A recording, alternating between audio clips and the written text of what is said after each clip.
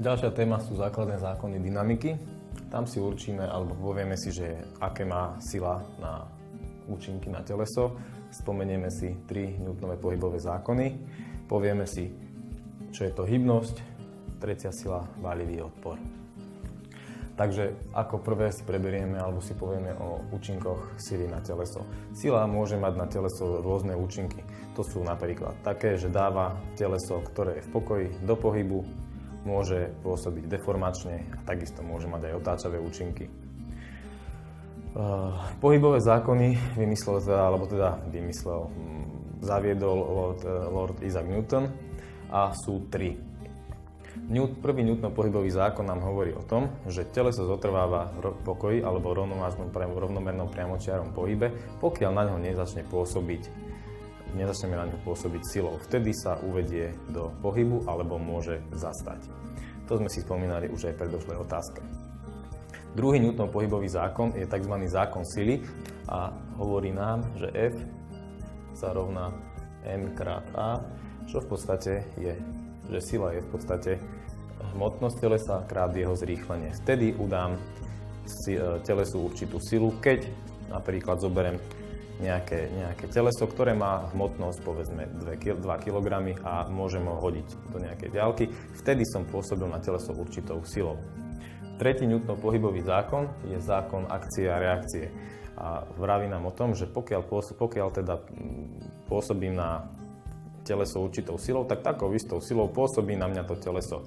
Hej. Príklad je napríklad čln, za, čln zaviazaný o strom, hej, ten čln pôsobí na to lano nejakou silou, povedzme 10 N, ale takou istou silou pôsobí na to lano aj ten strom, ale opačným smerom, čiže vyzerá to asi takto.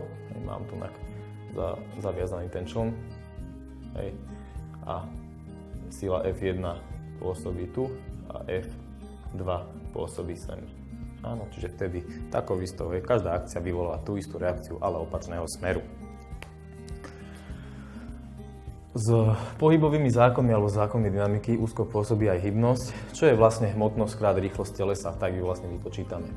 Pri, pri teda, pohyboch, pri dynamike vzniká aj tzv. trenie, alebo teda trecia sila, čo je v podstate tá trecia sila nám umožňuje to, že sa vieme pohybovať po ľade. Pokiaľ by tamto trenie nebolo, nemohli by sme sa pohybovať po ľade, teda korčuliar by sa po ľade nepohyboval, takisto my by sme nedokázali ani v podstate chodiť po zemi. Hej, čiže táto trecia sila nám hovorí o tomto. No a valivý odpor, valivý eh, odpor sa používa napríklad v ložiskách. Hej, predstavíme si, že máme nejaké ložisko, napríklad v bicykli, na bicykli na kolesách.